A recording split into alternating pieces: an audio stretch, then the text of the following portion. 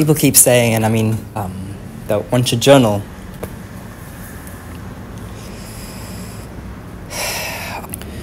I wanted to try this using the camera as a way to just write my diary, and I'm feeling really overwhelmed.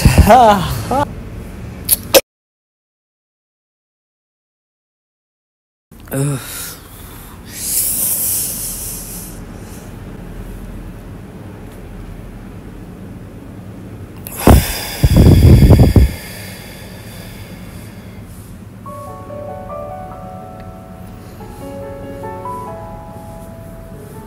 I just feel like I'm gonna let everyone down. Like everything is wrong, and that is not real. Actually, everything is fine. Nothing has gone wrong right now. Like nothing is, nothing is. There's no problem in my life. Nothing has actually happened. I'm stressed about so many things, but none of them have happened. Your thoughts are not reality.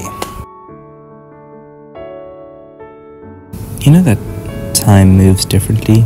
The way you experience time, the way you age, is related to your acceleration relative to the universe around you. That's crazy, isn't it?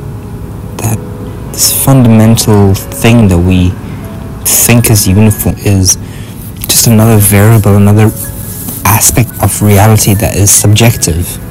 Subjective to the point that even your atoms feel that subjectivity, which is not to say that reality, the way we experience reality, is illusionary in nature.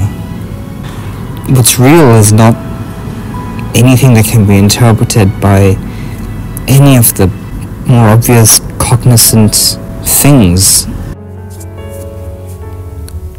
Nothing that is real can be seen by the eyes.